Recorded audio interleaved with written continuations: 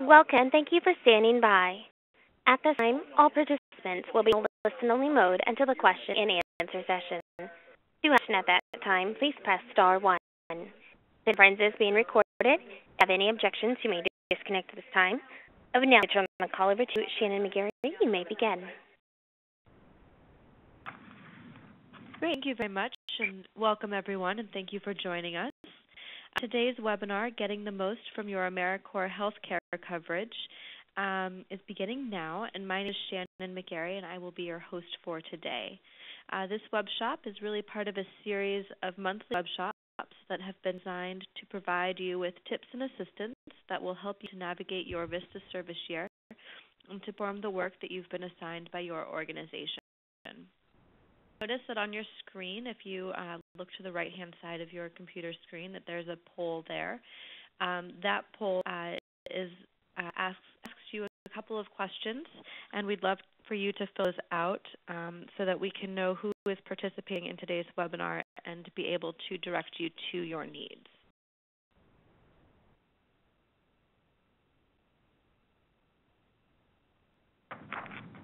Okay. Great. about that. Joining us today uh, is Jory Kamosi, who is the account manager uh, with Seven Corners, and Shab is our technical uh, assistant, who is a project specialist with campaign consultation. So I'm going to go ahead and turn it over to Sharon, who's going to walk us through some tips for using WebEx. Hello, everyone. Welcome to this webinar. If you use your internet connection, please go back to your email and reconnect using the link that was emailed to you. And if you lose your phone connection, you will need to redial the phone number to rejoin. And say your voice is muted now, but we will open the line later for questions. Please the chat section to the right, and we'll answer those questions as they occur for the most part. And for the first part of our question, the first part of the webinar, we would like you to uh, limit your questions to the topic at hand, and we will later open it to everyone, although I'm sorry, I believe it is open to everyone now, so we can see all of your questions. Great, so much, Sharon. And now I'm going to introduce Andy King, who is the VISTA Training Specialist. And he's going to provide us with a few words about professional development. Andy? Shannon, and welcome everyone. Um, as I said, my name is Andy King, and I work in the VISTA Training Unit and feel very privileged to have the opportunity to develop learning opportunities for you to improve your VISTA service and perhaps your professional development that uh, may serve you beyond your VISTA year. Um, I work on developing uh, courses like this one, as well as sessions at the pre-service orientation, and then to build the content that's on the VISTA campus. So we welcome your input for all of those things and, and would love to hear from you what other kinds of, of learning that you'd like to do. I want to thank you for making time to join us today um, and for investing in your professional development. The VISTA year only is one of uh, where you're continuously developing the capacity for the community, but that you're also using this year to build your own capacity, to build your own skills, and uh, really use it as a, a key professional development opportunity. And sessions like this one are one way that you can do that, and there certainly are lots of others. We uh, always point you to the VISTA campus as a, as a resource. We have many other great trainings available in communities across the country, and so I encourage you to take a look at those as well um, for other professional development opportunities. So you've made time in your busy schedule to join us today, and now I'm going to turn you back over to Shannon um, to get us started on the presentation. Great, so much, Andy. Uh, before we get started, uh, I noticed that the poll closed a little bit early, but we were able to capture some results, and uh, Sharon's going to share those with us. Certainly. Uh, so, for the number of people in the first question who have utilized their AmeriCorps healthcare benefits, 115 of you answered that you had not 71 that had. Uh, do you have other health care benefits? Uh, 74 of you said that you did, and 110 did not. And just relating to if you already have a doctor, and is that doctor in the AmeriCorps Health Plan? Uh, six of you said yes, Well, 100 said no. And we find low-cost health care that is not covered by your AmeriCorps benefits. 187 of you said no, you don't, and 34 strength you with that somewhat later today. Great, so much, Sharon. Uh, those were really insightful um, questions. So thanks everybody for taking the time to answer those. You may have noticed that the chat is open to everyone, so if at any point in time you have a question that you would like answered regarding uh, related to your AmeriCorps healthcare benefits, feel free to ask those um, in the chat or Q&A um, feature in the panel on the right, uh, and we will pause to answer uh, some of those questions later in the presentation. Uh, so um, today's agenda, uh, we're going to be going over uh, Seven Corners and your AmeriCorps health benefits. So we will be providing you with an overview of that, uh, review some of the eligibility requirements with the limitations and exceptions. this includes going over some of your copays and pre-certification requirements. Uh, to talk a little bit about medical and pharmacy networks uh, and some of the coordination of benefits, uh, in addition to submitting claims and subrogation so that you're aware of what, what some of the processes are with that. Uh, so we'll let you know how to contact customer service um, and to convert uh, over once you have finished your AmeriCorps year. Uh, and then finally, we'll talk a little bit about some of um, uh, sources of benefits um, that will help you to uh, find care for some of the areas that maybe aren't covered under your AmeriCorps health benefits. Um, so what I'm going to do now is uh, turn it over to Jory Kamosi, who uh, is the account manager from Seven Corners. Jory, I believe we're now going to have rights. Thanks. Good afternoon, everybody. Jory Kamosi, and I'm the account manager for the AmeriCorps Health Benefit here at Seven Corners. In uh, to be the AmeriCorps Health Benefit account manager. Sorry, we're gonna next line here. Also, the backup account manager for Peace, the Peace Corps Health Benefit, as well as the U.S. Department of State ASPE Health Benefit. What I'm going to discuss today is your AmeriCorps Health Benefit. So, without further delay, let's get started. Your AmeriCorps health benefit is a limited benefit plan. This is not an insurance policy. It's not a major medical health benefit coverage. Payments are also not covered under this plan. The plan was self-funded and written by the Corporation for National and Community Service. This plan is administered by Seven Corners Incorporated. Seven Corners is a privately held company, not owned by any large insurance company we have owners that come in every single day, walk around, interact with us, so kind of a close-knit company. Seven Corners, as the administrator, applies the benefits the way they were written by the Corporation for National Community Service. Since it's not an insurance policy, government money, Seven Corners has no financial gain when denying a claim for payment. Administrator for the AmeriCorps Health Plan, our responsibilities include processing claims for payment, customer service on benefits and claims, eligibility or enrollment of all members, prescription drug coverage, and the development of an internet self-service option called My Plan. Plan is a component of the website where your secure information is located. It is password protected, and where you can view your claims, interact with customer service, print a new virtual ID card, the online explanation of benefits. We also recently, I believe, were looking at installing a chat area into my plan. The most current information about the AmeriCorps health benefit is on the website, as you see here. You can find everything you need, such as forms, frequent asked questions. Any updates would be posted on the main page. There's also a glossary of terms. There's a link to my plan. There's a link to the medical provider network. You can information about the pharmacy network, and it contains our contact information. Activation will receive or already would have been given an ID card. You must keep this ID card with all with you at times. The card provides 24/7 coverage and has your ID number on it. You must present this to a physician, hospital, or emergency room.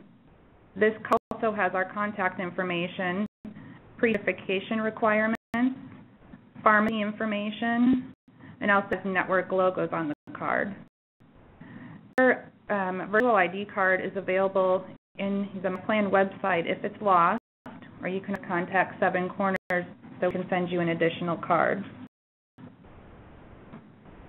All contact information must be updated in the AmeriCorps portal, the My AmeriCorps portal. And what I mean by contact information, that means if you have an address change or any other personal information change, you must do that in the AmeriCorps portal. Once it's updated with AmeriCorps, your updates are sent to us via a daily data file. There are some benefit limitations to this plan. Since it's not insurance, it's a limited health benefit, there is a lifetime pre-existing clause. Pre-existing conditions are not covered. A pre-existing condition is any condition or illness for which medical treatment was given or diagnosis was made on or before the effective date of the AmeriCorps Health Plan. This includes if you consulted a physician prior to your effective date or received treatment or medication prior to the effective date.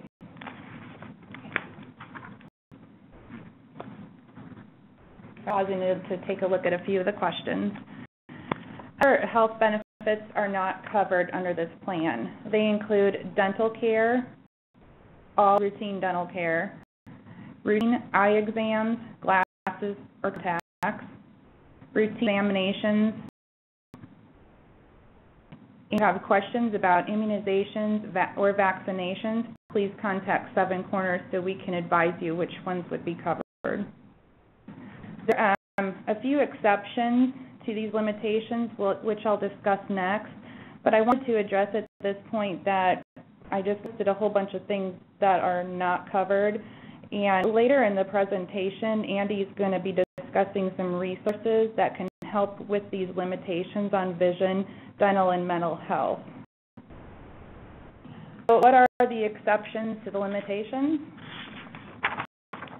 There is a dental exception treatment for the alleviation, the emergency alleviation of pain is covered. This must be documented by the dentist on the claim or on attached office notes. There is also a vision exception.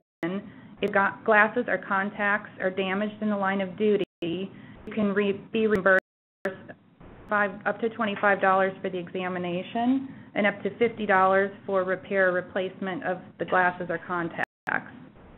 You pay out of pocket for the vision exception. Um, that must be submitted on a claim form then to Seven Corners along with a letter from your supervisor. There's also a routine care exception. When you have one GYN visit per service year, which includes a pap test and a breast examination. I do like to warn that routine lab work is not covered and can address any specific questions you have about that later. But what that means is if your doctor decides to do a routine cholesterol screening, other routine lab work when you're not having any issues, that, that's considered routine and not covered. Of management is covered. There used to be a restriction on this. However, the Corporation for National Community Service opened up contraceptive management to be covered for all members. You have coverage for one mammogram per service year if you're 40 years of age. And for women over 65 years of age, you have coverage for one bone mineral density test. Men, you also have an exception to the routine care. You have coverage for one prostate exam per service year if you're over 50 years of age, and this also includes the PSA test. At pause, there's a question about what specifically is contraceptive management. Contraceptive management is if you go to a physician specifically to discuss or to get a prescription for contraception, you would go to the physician and ask for prescription for birth control pills. If you go and um, get an IUD, if you would go and get a depo shot or or plant or any of the covered contraception. Um, and any other questions specific that we could address those later, but hopefully I touched on on most of those. Um, age for the bone density test, I see that's a, a question again. That was for women over 65 years of age. And I also see a question about uh, what should the letter from the supervisor say, and I think that's going back to the vision care coverage if your glasses or contacts are damaged in the line of duty. If the letter just basically needs to say that what what program is, what you were doing, and verify that, that it was in the line of duty. Um, another question we have about a GYN appointment um, where a blood test was ordered because there's a history of anemia. Um, one of those that it's, it's considered routine if there's a history of, or it can also be considered pre-existing if you are diagnosed with anemia. So if you wanted to discuss maybe some of the particulars about that by calling here, we we would be happy talk to you and, and maybe there's some other details that goes along with it that we can discuss. We're going to move on, and if there's any other questions, I'll try and answer them as we go, but maybe we should try and hold a lot of them for later. So if I don't answer your question, it doesn't mean that I'm not addressing it. I'm just going to try and keep the presentation moving. As far as coverage for mental health coverage, for uh, you have three outpatient mental health visits per year that are not subject to the pre-existing limitation. If you additional mental health visits that are subject to the pre-existing limitation. So that means if you have a pre-existing mental health issue, you get three visits, no matter what, but those are covered for you and not subject to the pre-existing limitation. If not a pre-existing limitation, there's not a limit to these visits. However, it needs to be documented on file here by request of information from your physician that it's not a pre-existing condition. Core covers inpatient hospital services only for conditions that are not pre-existing.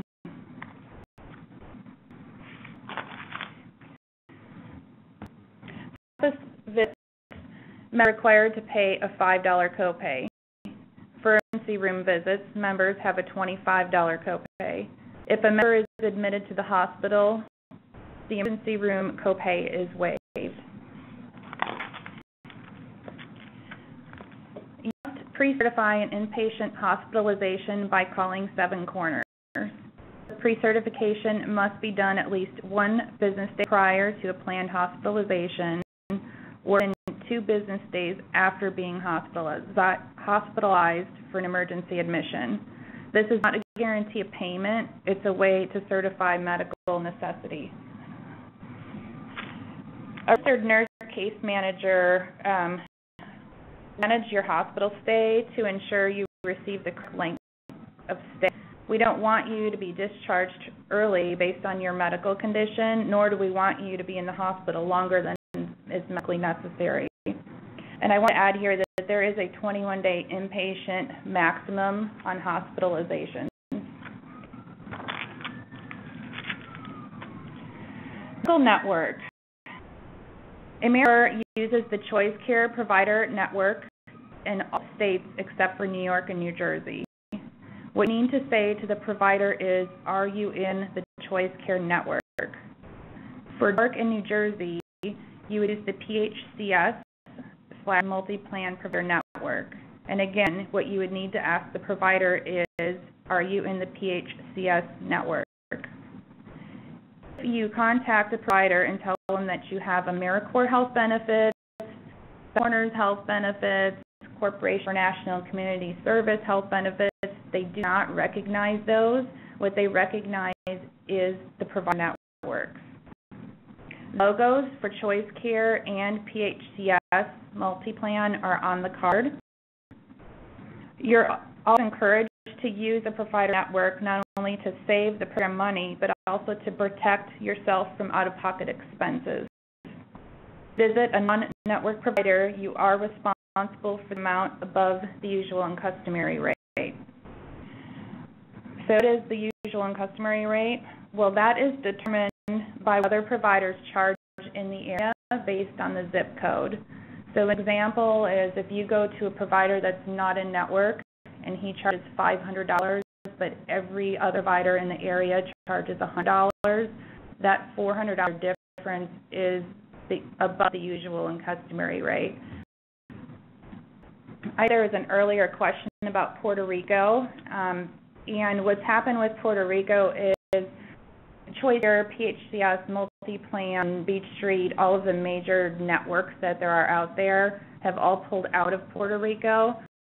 So what we're going to do to get a network for the Puerto Rico members is um, we've been in contact with the state office, and they're going to get together a list of the major um, providers or provider um, in Puerto Rico, and we're going to contact them directly and start a contract so that there's a, a unique provider network just for the Puerto Rico members.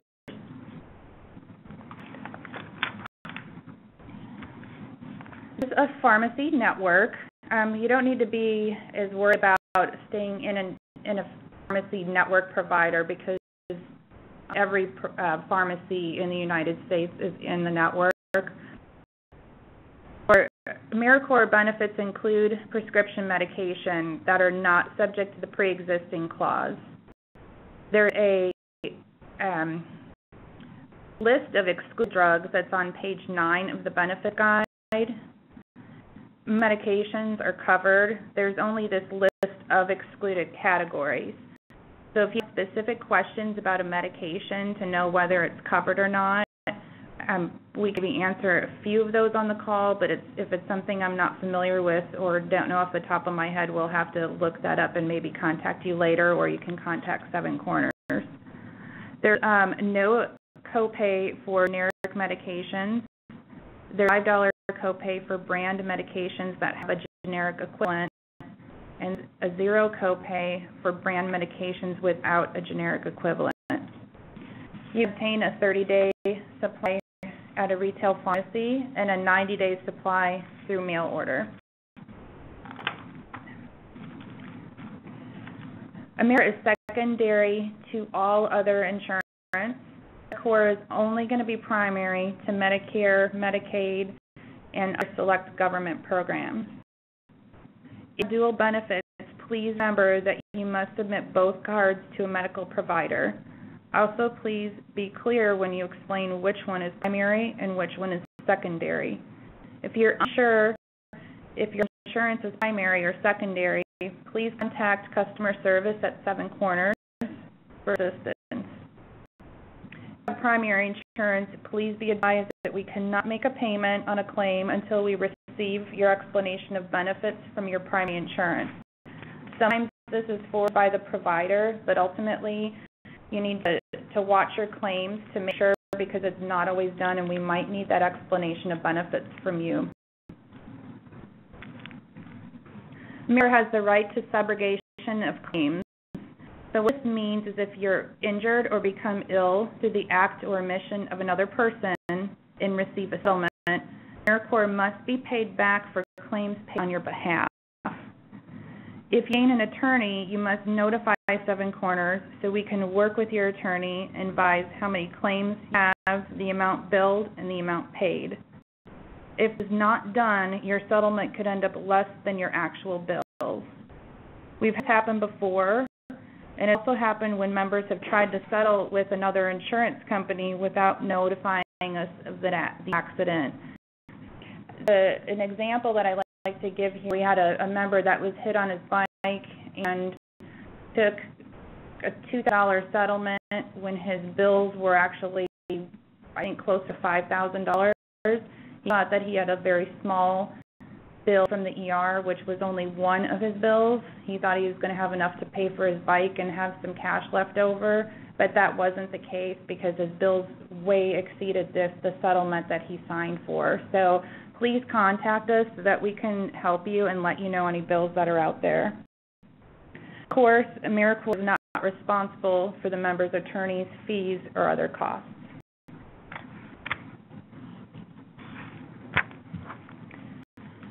Claims for injuries cannot be paid until the injury accident details request form is returned to Seven Corners. The form is issued when we see any sort of injury diagnosis code on a claim. This doesn't necessarily mean that this is a subrogation case. It's a way to document subrogation cases as well as have information on file about your injury. So to give you an example, if you twist your ankle, you'll get an injury form. If you break your leg, you're going to get an injury form. If you burn yourself, you'll also get an injury form. So the rule of thumb is anytime you injure yourself, you can even, even go online and get this form and fill it out and send it in ahead of time instead of waiting until the claims are processed.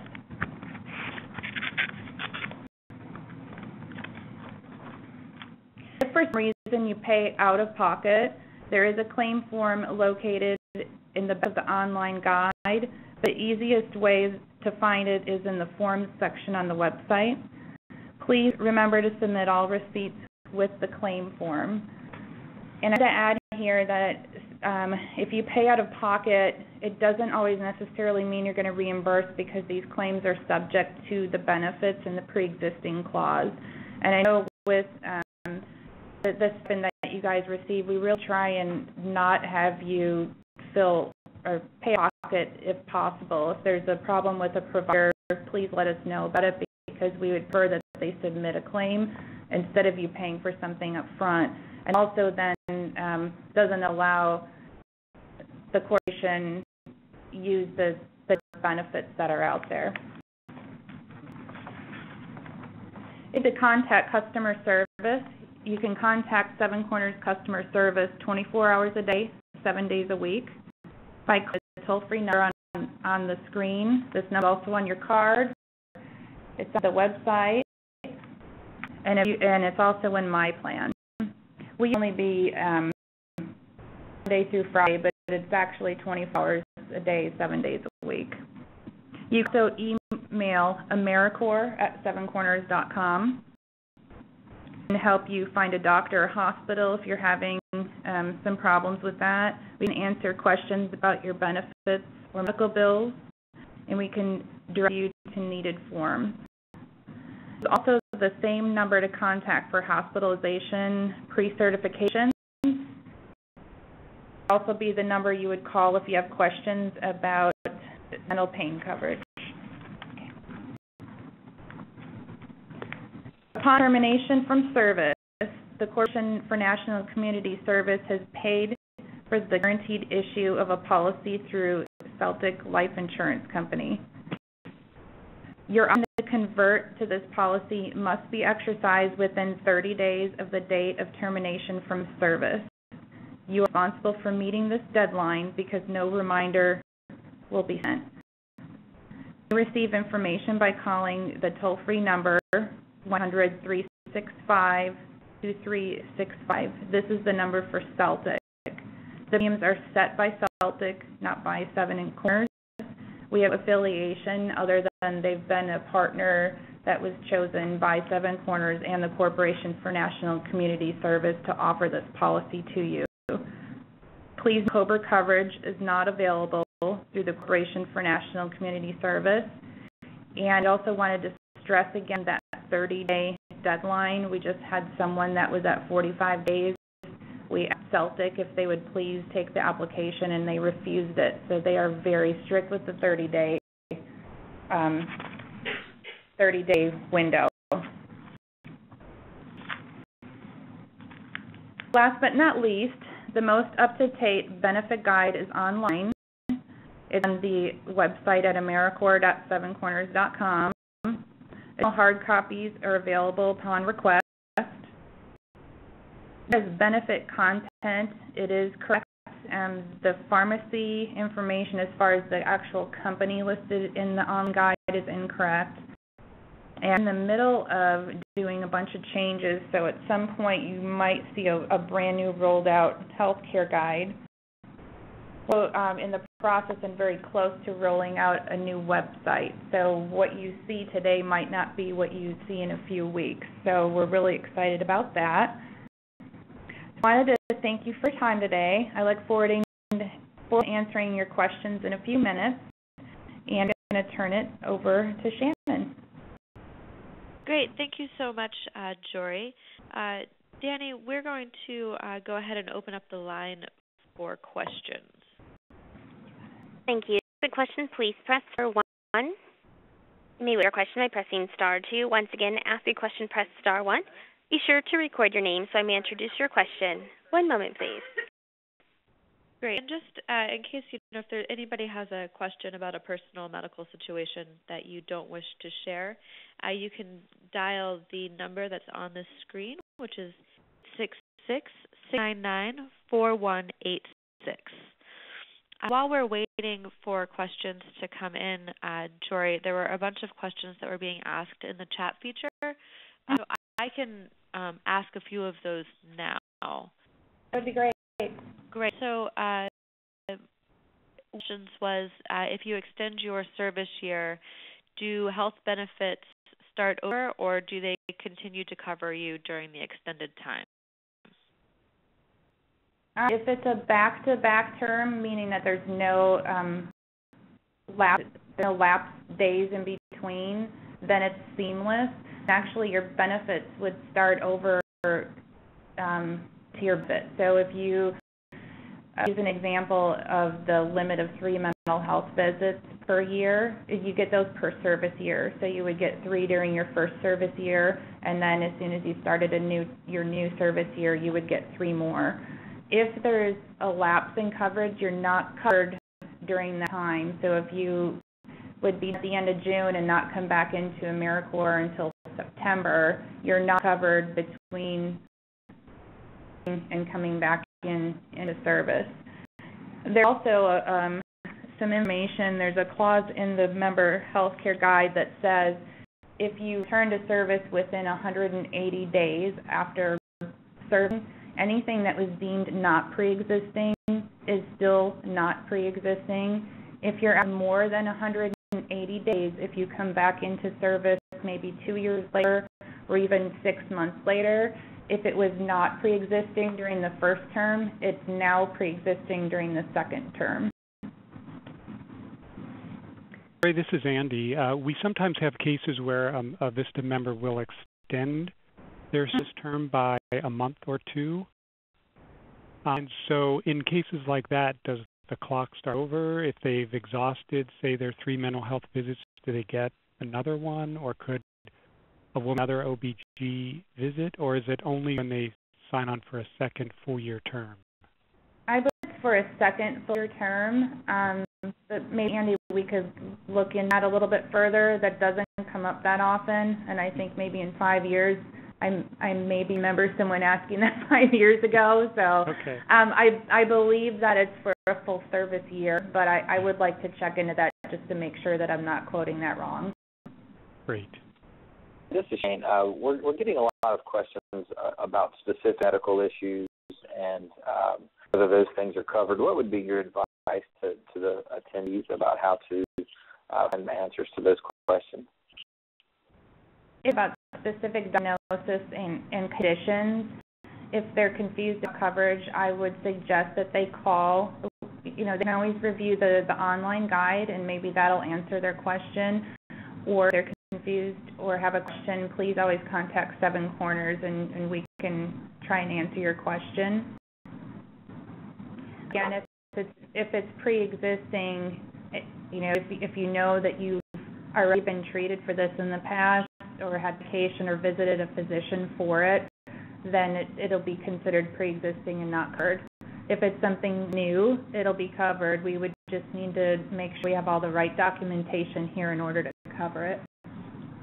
Okay. uh, we just got a question in that said it asked to explain again about this not being insurance and how to um, for the for the participant if they go to the doctor, what how do they explain what this is to them?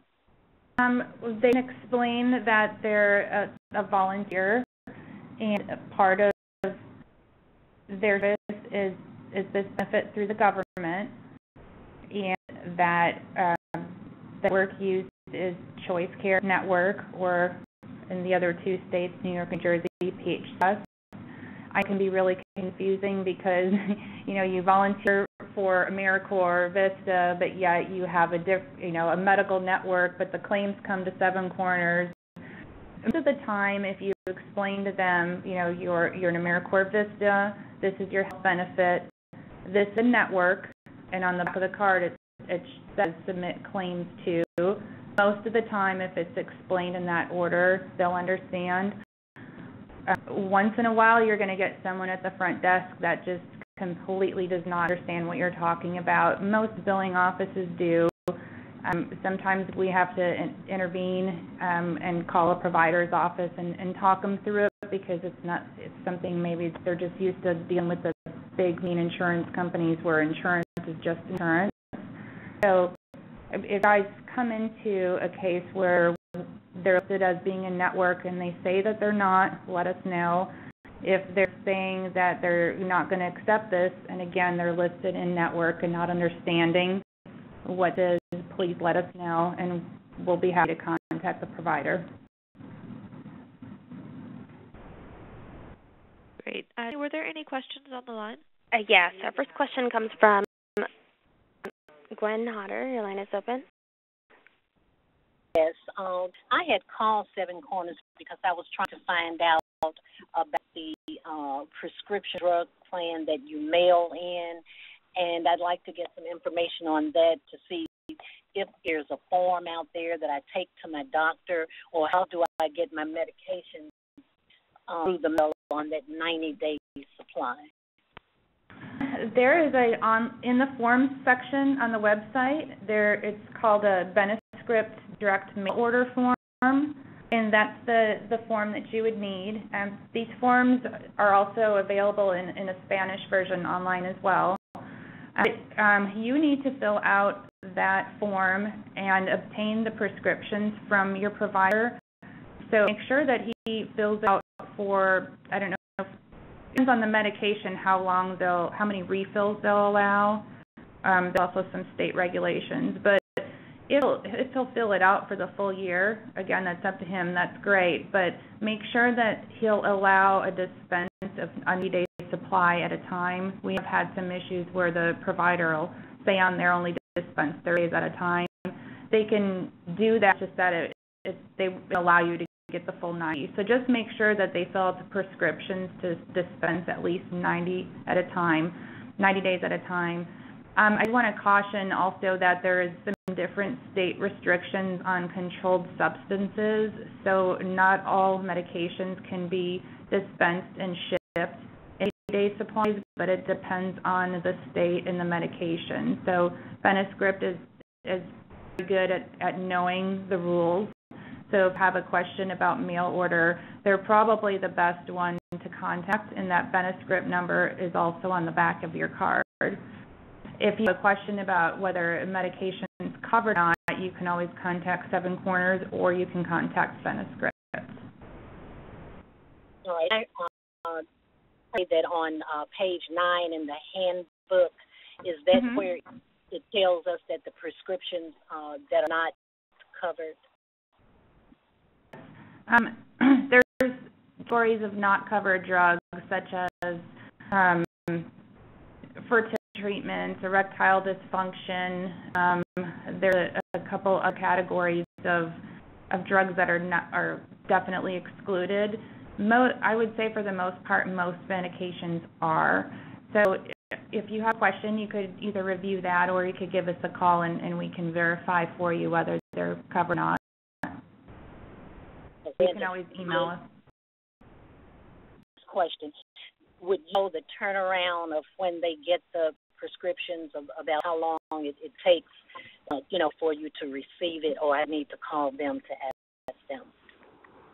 I probably called in, but I thought that we had asked for a very quick turnaround, um, but because not only do we administer benefits for for the AmeriCorps Health benefit, but also for Peace in the U.S. Department of State. So we required them to to turn around pretty quickly. Um, if if they're not, then I would need to be aware of that. Um, I, I know what's fair. I would say a week or less, but it's also going to depend on how how they get that prescription. If you're mailing it in, if you're faxing it in. So I, I don't want to hold them to any specific time frame, but we've asked for those to be done as quickly as possible and to be expedited once they see that it says seven corners on the top. And the order form actually does say seven corners in big black letters across the top because of that.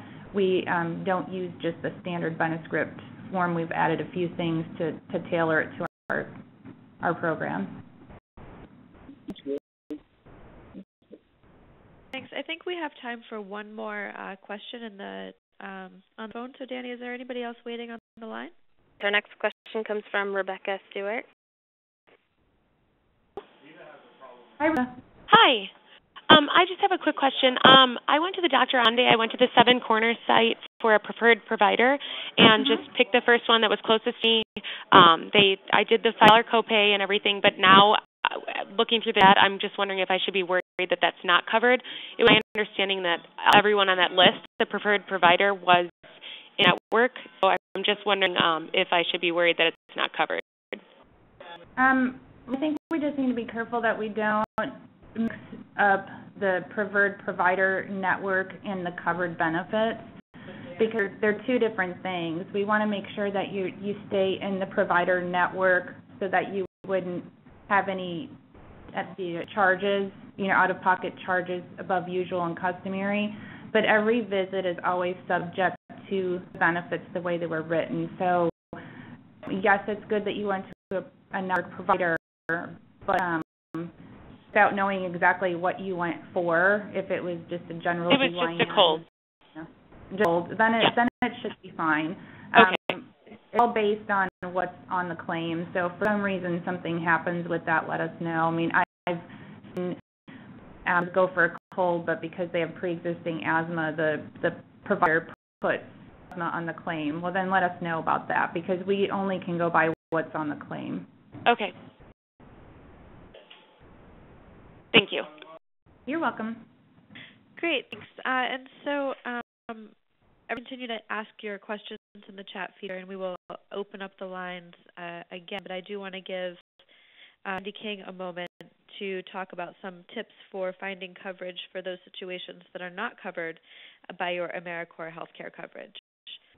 So, Ann? Good. Shannon, um, and there's been such a lively discussion. I do want to quickly point out a few suggestions um, that might help you to find source of low-cost uh, health-related services. Uh, before I do, I want to just offer this disclaimer. Um, by my mentioning something here is not a recommendation or an endorsement for any of these, and I would strongly encourage you to make your own assessment of the suitability for any of these programs or services uh, your own needs before making a decision about whether to pursue them. So, um, so that's the thing I want to say. The second is, um, as a resource, um, of course, you should all look at um, One as a, um, a resource in your area for getting referral to uh, resources and services in your area um, that uh, may have sliding scale or low cost or have particular benefits for uh, people with a low income. Um, I want to take a look at a couple of uh, specific areas of uh, health-related services um, where there's very limited or no coverage in the AmeriCorps benefit plan and, and give you some tips um, that you can use. I do say that all of the things I'm about to mention here um, are described a little bit more fully in a handout that's going to be emailed to you after the session, including links to all of them so you can go to the website and read about eligibility and find out what services are provided and if they're in your area and how to access them and all of that. So I won't go into those details, but I just kind of wanted to give you a top level view of some of the things that are out there. Um, so in terms of vision care, uh, there are many groups and organizations that provide free uh, eye exams and free eyeglasses. Clubs are a great place to start. They're in thousands of communities around the country and the world. One that the Lions Club can do is they can recommend you for uh, receiving free or low-cost um, eyewear or, or vision exam through one of the other providers. Lions Clubs don't provide these services themselves, but they can assess your situation and make a determination that says, yes, you qualify, uh, and they'll write a letter on your behalf or they'll uh, refer you to one of these other programs. Uh, biggest programs is called OneSight. It used to be called Give the Gift of Sight. Um, it's uh, sponsored by the LensCrafter Foundation. Offer uh, free exams and free eyeglasses to people who qualify. Um, and basically, uh, those are people who are selected by local nonprofits and charities based on their visual need and financial need. Um, so go to their website and find out the eligibility criteria and find out uh, their partners. They have a related program called the One Day Program uh, coming up soon, um, the second Tuesday of December, and it's a partnership between LensCrafters, Pearle Vision, uh, Target, stores, uh, Sears Optical, a couple of other providers, um, open their stores early on this day and provide free exams and glasses. Uh, there's one called VSP Mobile Eyes that uses actually a mobile um, clinic, like an eye clinic and lab uh, that's a trailer that they pull around the country. Their website has a schedule of where they're going to be and when, so you can look at the calendar. Um, uh, VSA is a similar program that has uh, pop-up clinics that they schedule. Um, and then last one here, New Eyes for the Needy, has been around since the 1930s. Um, Helen Keller was a, a, big proponent of it. Don't offer exams, but they do provide glasses. So if you have a prescription um, or can exam somewhere else, um, that's an option as well. Uh, more resources for vision care. Uh, there are low-cost options um, uh, and Sharon, if you can go to the next slide. Low-cost options as well. So there are a number of um, programs. One's called, or companies. One called America's Best, where they have a package deal. You can get um, examine a couple pairs of glasses for something like seventy dollars. Um, if there's a, an optometry school in your area, um, they use students to provide exams, and, and it's all supervised by licensed optometrists, so you're getting quality care, but uh, very low cost or, or, free for those kinds of exams. The major retailers often have um, specials, so Sears Optical and Costco JCPenney and a few others are examples there. Um, there are online coupons uh, through like Groupon and uh, Living Social. There's one as well called uh, Coastal.com that focuses on eyeglasses other online retailers uh, like Zenni Optical and Buy Direct um, are good places to get glasses for as little as seven dollars. Now, dental care, because um, we've seen a lot of questions come up about dental care. Uh, finding absolutely free dental services is difficult, um, but uh, certainly low-cost dental services are, are widely available A couple of if there's a dental college near you, that's a great place uh, to get full spectrum uh, coverage, particularly if you have a, um, a complicated uh, case. Um, dental hygiene schools are more widely available. They're in community colleges all over the country. Um, and then there's a, a class of organizations called federally funded community health centers. These are um, there are thousands of them around the country. They're, they're nonprofit community organizations. They receive federal funding, and so they provide services to low-income individuals um, on a sliding scale or at very low cost um, at a set uh, set pricing schedule. Not all of them, but many of them offer care as part of their suite of services. Uh, so again, the resource that you'll receive has a link to their directory and just look by state and city to find out what's available in your area. You can search by dental care or the type of care that you're looking for. And likewise, there is a whole um, coalition of free dental clinics um, and, uh, and, there's a, an online directory for those as well. Uh, medical care, there are some kinds of root services or, or other services that may not be covered or may exhaust the benefit that we provide through the AmeriCorps Health Plan. Um, you can look at this directory of federally funded community health centers. Um, there also are community free clinics, and there's an online directory of those where you could get free services um, for things that, uh, that again, are, are, beyond what your coverage is. Most public hospitals um, have associated with them an outpatient clinic that offers uh, free services, um, as many city and county health departments. And a couple of you asked about uh, flu vaccine. Um, your city county health department is very likely to offer free uh, vaccinations, um, so I would definitely look uh, to see what's available in your county. Community free clinics do that as well. If you are uh, a service veteran, you would apply for free and discounted services through the VA uh, medical system.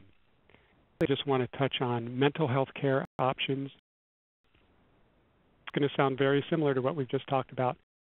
Um, there are uh, there's a class of, of organizations, uh, mostly nonprofit around the country, known as community mental health service providers. There's a national directory of those, and they provide uh, free and uh, slide scale uh, counseling services and other mental health uh, uh covered mental health services. Uh, many of the federally funded community health centers also have mental health services as part of their uh, suite of services, so you can search that directory um, and look specifically for the mental health providers. and again, some of the free, the community free clinics offer mental health services as well. So that was a really quick look. Um, uh, as I said, you'll be getting a handout links to these directories and to, to some examples um, so that you can see what uh, what some of these services are. And um, you know, if it's not covered and you have to end up paying out of pocket, and go look for the best deal because there are lots and lots of sources of low-cost care out there. So I'll bring you back over to Shannon, and uh, I think we may have time for a few more questions. Thank you so much, Andy. Um, Danny, can we go ahead and open up the lines for questions? Thank you. Again, ask a question, please press star one. Great. In the meantime, uh, there have been quite a few questions coming in um, about doctors that are listed in the provider network uh, and not being able to find people that are uh, in the location that a VISTA is serving. So, uh, what would you recommend that a VISTA do when they're serving in an area that doesn't have a uh, doctor in their provider network? Uh, there's a few things that I was seeing on here about that. First, I wanted to, to clarify again, just because you go to a provider that's in network does not mean it's covered. The provider network for coverage is basically to make sure there's a contract and that you know, the corporation can get a good rate and you don't have to pay out of pocket. That is completely separate than the covered benefits. So because you go to a, a network provider, it doesn't mean that it's covered. So please all, always refer to the online guide for the benefits um, or co- contact Seven Corners with your questions. As far as um, being able to find a network provider, um, that if you're not able to find one in the search that's within 35 miles of your location, the benefit guide states that you're allowed to go out of network, but that's only if there's not a network provider within 35 miles. If that's the case, please contact us because we will make a note in there. We'll we'll do a search with you. We'll make a note then that there was was not a provider that was within your area, and then you can go out of network. This does not happen very often. So, I mean, I've had people in a, a major metropolitan area call me and say they couldn't find a provider network, but provider. But when I look up what they wanted, which, which was general practitioners, I found 300. So, it, if you come across someone that says it's not in the network, but they're listed as being a network, please let us know because sometimes it's it's an education thing with the the provider office. Maybe whoever's at the front desk doesn't understand, or they might not even be aware of whatever contracts were signed by someone else somewhere in the organization. So the person taking the phone call doesn't always know exactly what works they're in. They should, but they don't always know because, like I said, it could have been someone at a higher level that made an agreement and signed up for the network. If someone, if if that information is inaccurate, also please let us know because we pass that along to the network. They try and keep provider lookup data as clean as possible and as up to date as possible, but sometimes providers move phone numbers and don't tell the network. So they do follow up, but it's it's also up to the provider so networks know when there's been a change in their information. So please let us know that as well. Great, thanks so much, Jory. I'm going to continue to take questions, but I also want to draw your attention to uh, the evaluation that's been opened on the lower uh, on the right-hand side of the screen. Uh, before you log off today, if you could just uh, or in the next actually in the next five minutes, if you could go ahead and fill out that evaluation, it really helps to inform uh, our webinars in the future. Um, so great. Uh, are there any other questions that are on the phone, Danny? Yeah, we have a question from Roxanne. Your line is open. Hi. Uh, I have a quick question about physical therapy. If you are injured, not necessarily on the job, um, and need to seek physical therapy to recover. Um, is that covered, and if so, for how long? Um, again, as long as it's not a pre-existing condition, it, um, you mentioned it was an injury, so we would just need to have that injury mentioned um, here uh, in the office at Seven Corners.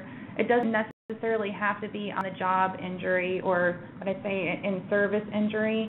Um, it, the PT would be covered, we would just need to have a, a valid prescription from a physician. So it would be whatever he prescribes. Let's say he says three times a week for five weeks, then that's what you would be covered for. Um, if you would require additional physical therapy after that prescription runs out, we would just need, then need a, a new prescription on file. And then always find a, a network physical therapist. Or um, before any of that can happen, we have to file an injury claim. Um, we would just need the form. I mean, you could you could already start going to the physical therapist. It's just that before we could pay any of the claims, we would need that injury form on file. So you don't have to worry about that stopping you from going for services. It's just that before we can issue a payment, we would need the form. And that would be provided by the, the physical therapist, and they could just send that to you. And that form is either available online, or if we would receive a claim for this injury and we don't have that on the form file yet, uh, the the the, uh, the explanation of benefit notification that goes out to let you know that a claim has been processed and you need to view it in my plan. Um, the form would be attached to that explanation of benefits for that specific claim. So it's really important to check any of the explanation of benefits in your plan account to, to see if additional information is needed from you. And at that point, we would ask for that form if we don't have it. Thank you. Also, are shots covered? Flu shots are covered. Um, we encourage members to maybe try some of the, the flu clinics, um, maybe like the CVS, Walgreens, and some of the other clinics because they they're more economical approach than going for a full um, office visit and flu shot.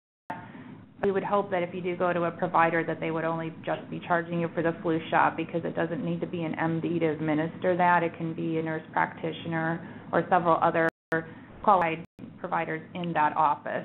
So you have a, a few options. You can either find a provider and get a provider or you can take advantage of some of the clinics.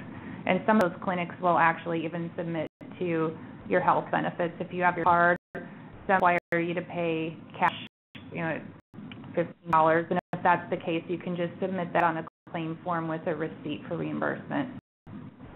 Great, thank you. You're welcome.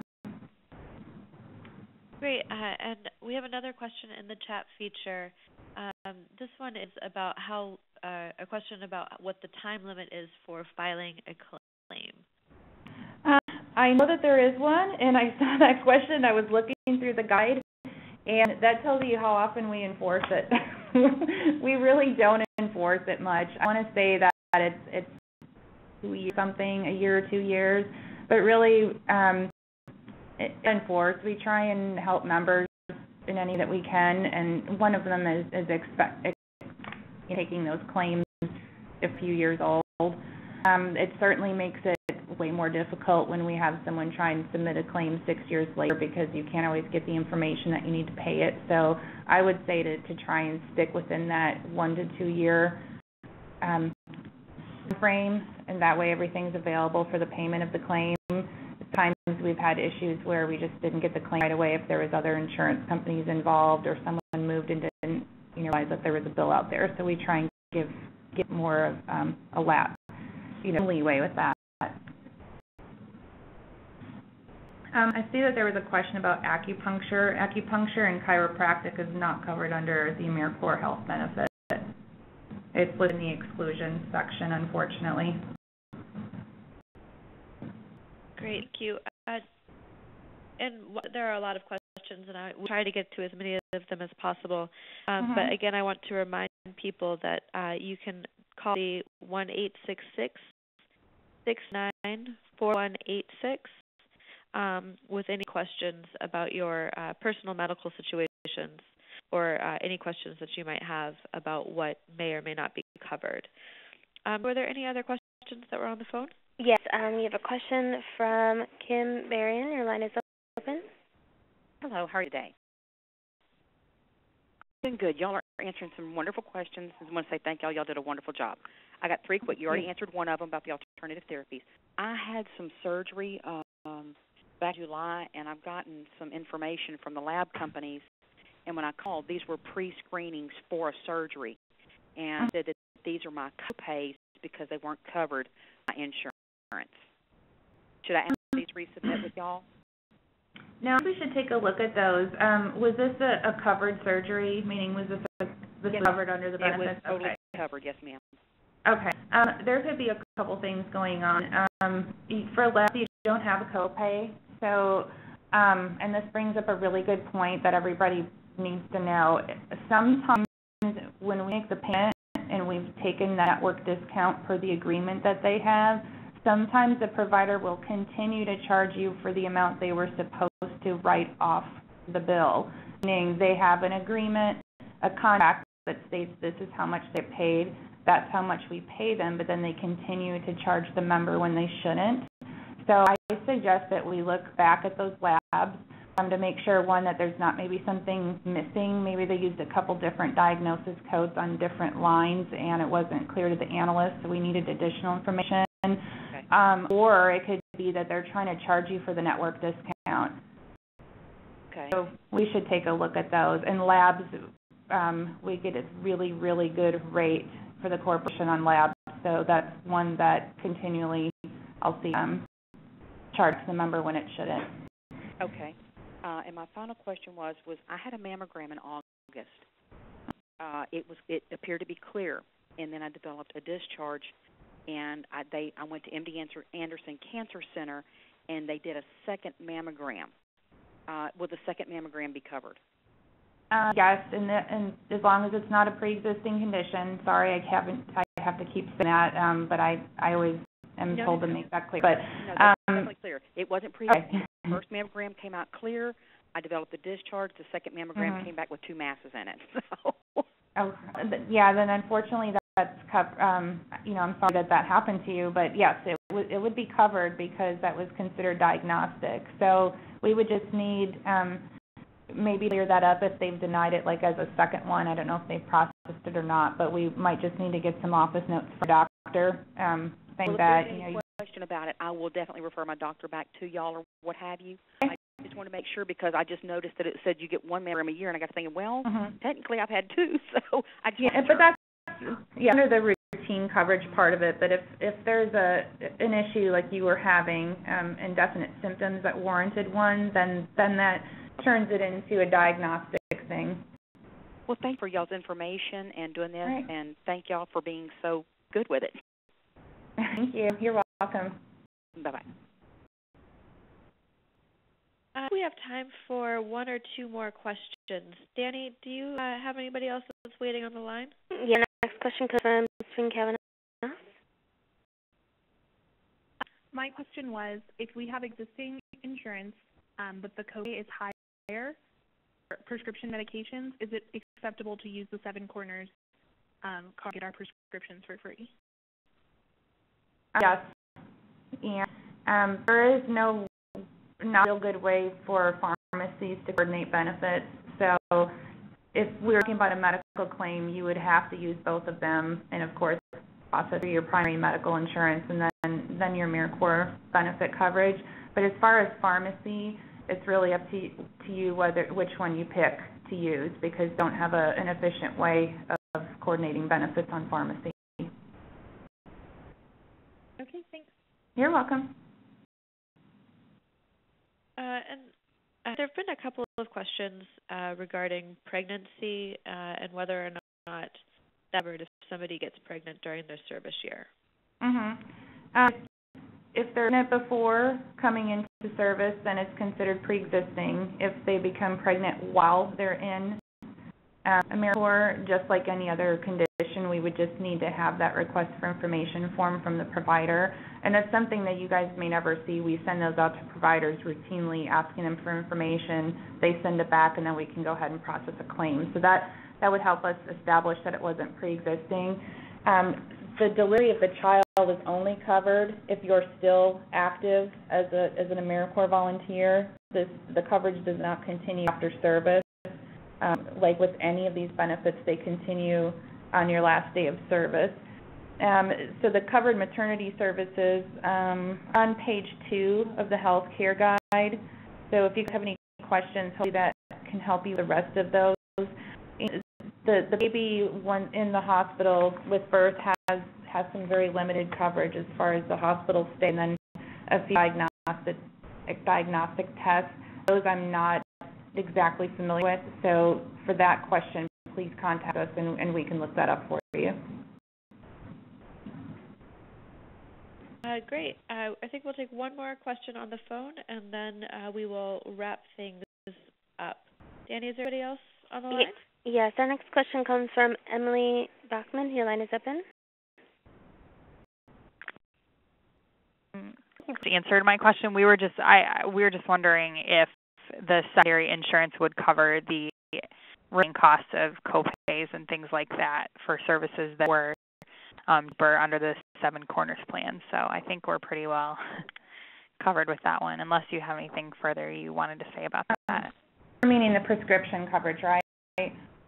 Or well, I mean, I'm thinking more specifically for like if the pay is five dollars for um, the Seven Corners, but I have insurance that say is thirty dollars for the pay. Am I to pay the thirty dollars, or will Seven Corners um, down to five, like cover the remaining, so it's down to five? Does that make sense? Um, we we would cover the remaining as long as it's a, a covered benefit under this plan. So it would have to be submitted to your primary insurance. As soon as we receive the claim and the explanation of benefits from your primary insurance showing, like you said, $30 left, um, then we would pay the, we would pay 25 and leave that $5 copay. So um, that's you know in, in the case of an office visit. And some members also, if you have really high deductible plans um, or or high coinsurance or copays, that it's also the the same thing. So as long as we have an explanation of benefits on file with the claim and it's a covered benefit under the plan, then we we pay we normally would at, and pick up after your other insurance left off. Okay, and I asked um, if I did not register my primary insurance up to this point because I wasn't sure what to do with that. Um, there was something that isn't covered by Seven Corners. Can I go through and reprocess it with my primary insurance, or am I just going to have to cover the cost of that? Um, you should submit to your primary insurance, and um, that hasn't let us know about it, it, it you know, it be for a couple of reasons. Maybe you didn't fill out the form and send it back, or respond to the email where we've requested that a few times. Um, some people just don't want to let us know about it. There's a whole bunch of reasons. Eventually, it comes around because different providers might put it on a claim and we'll see it. And we've had to go back and ask providers for money back. So if if happened to you, please let us know and we'll work with the providers and have them submit the claims to your primary insurance before we start asking them for refunds because then they're not going to get paid from then you'll have a, then you'll have no payment on the book. So we don't want that. So yes, if you had something that wasn't covered by us, please submit it to your primary insurance and really should let us know what your primary insurance is and call your providers and have them start submitting to your primary before we before we start asking for refunds because then it's going to get really messy and we don't want that to happen to you.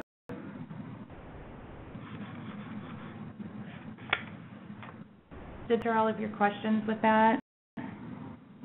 Yes, thank you. Okay, you're welcome. Thank you very much. Uh, I want to just respect everybody's time, uh, and so uh, thanks everyone for participating today. Uh, I want to remind everybody that if you do have a question that wasn't answered during our uh, chat, uh, that you can email one eight six six nine nine four one eight six uh, to have that question answered. Um, and then you can also, uh, if you have any questions about anything else that's VISTA service related, you can ask those uh, by sending an email to vistacampus at campaignconsultation.com. Uh, I also want to encourage people to participate in some of our upcoming uh, webinars, uh, such as Social Media Monday, uh, which will be happening on Monday, October 29th at 3 p.m. Eastern Time. Uh, we'll be talking about Twitter, uh, microblogging at its best.